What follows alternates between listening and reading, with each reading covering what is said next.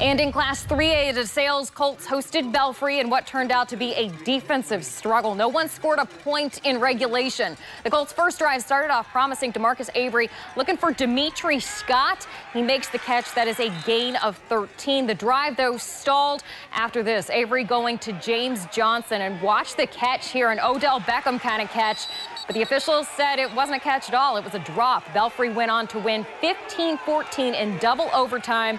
And that brings the Colts season to an end.